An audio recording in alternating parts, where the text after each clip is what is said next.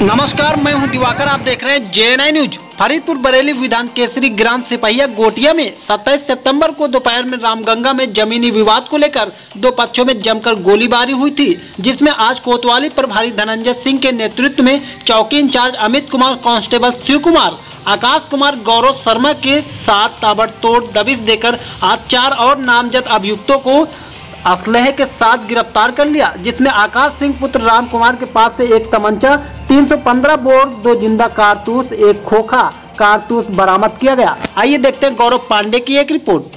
अट्ठाईस सितंबर को सिपहिया गोटिया में फायरिंग हुई थी इस मामले में कितने लोगों को जेल भेजा गया? सत्ताईस सितंबर को दोपहर के समय सिपहिया गोटिया में जो फायरिंग हुई थी उस पर जो है तत्काल सूचना मिलते ही मैं क्षेत्राधिकारी, प्रभारी निरीक्षक कोतवाली फरीदपुर सब थाने का समस्त फोर्स, हम लोग नाव पार करके गए घटनास्थल पर।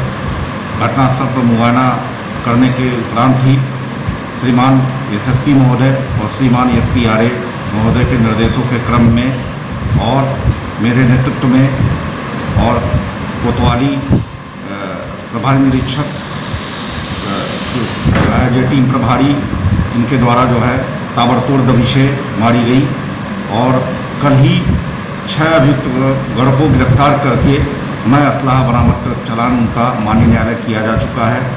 आज दबिशों के क्रम में चार और अभियुक्त गिरफ़्तार हुए हैं, जिनसे असलाह की बरामदगी की गई है।